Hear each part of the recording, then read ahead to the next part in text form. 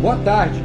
Hoje, segunda-feira, dia 7 de março, de manhã eu disse que é um dia de muita alegria, que é só coisa boa que está vindo para a calçada.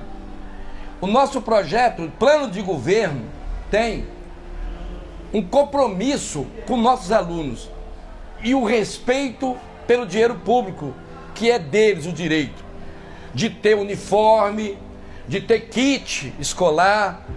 Muita gente agora quer dizer que foi ele que trouxe. Não foi não. Está no nosso projeto de governo.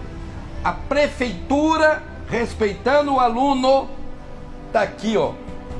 O kit já chegou. Olha que coisa linda. Mochila, caderno, lápis de cor, enfim. Completinho. E até sexta-feira deve chegar o uniforme. Então nós vamos entregar na sala de aula para cada aluno, na mão do aluno, o kit dele. E depois vão fazer a mesma entrega do uniforme. Mas é sempre bom lembrar: não tem ninguém que comprou nada. É o direito do aluno que está sendo respeitado por essa administração.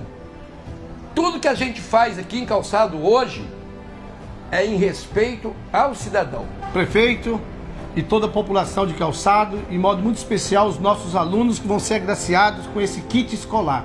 O nosso muito obrigado do senhor está dando essa oportunidade, nós está alavancando o nosso trabalho na educação e trazendo tudo aquilo que é de direito e o senhor colocou no plano de governo. Estamos executando. Nós amanhã estamos na montagem a partir da manhã e na quarta-feira já vamos iniciar nossa entrega do kit escolar tanto desejado, sonhado e esperado. O nosso muito obrigado. E o governador Casagrande está aqui presente com a gente e o nosso secretário Vitor, o nosso subsecretário Aurélio Ribeiro. Nós temos que só agradecer do apoio que o governo tem dado à nossa educação de São José do Calçado. Obrigado, governador Casagrande e sua equipe da educação, por proporcionar mais essa conquista para os nossos alunos. Obrigado. Prefeitura Municipal de São José do Calçado.